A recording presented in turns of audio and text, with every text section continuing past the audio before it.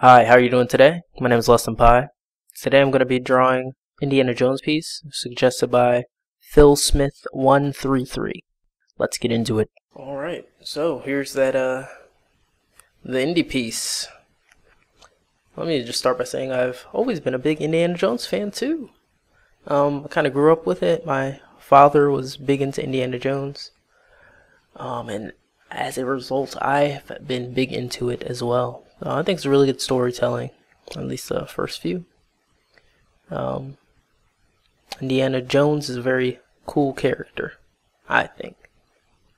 But enough about that. First thing I do is try and just uh, get the bait. I, I've never really done two people in one scene before, so this is kind of new to me. Um, first thing I do is try and get their the general shape and form down. Then I try and get them to be the you know comparable in size, shape, and look like they do in the scene I'm drawing from. After that, I just go in. Um, I've been getting faster I, since I've been doing so many of these, and um, the the lines really help too to just get what the information I need to start throwing stuff down. Um, I've been doing a little bit of personal anatomy studies on the side, um, and just studying light and stuff like that. So that's been helping too. Um, I understand what I'm drawing, so I know what it should look like, and the uh, reference just helps build on that. Instead of me um, only drawing what I see, I understand what I see. If that makes sense, I don't know.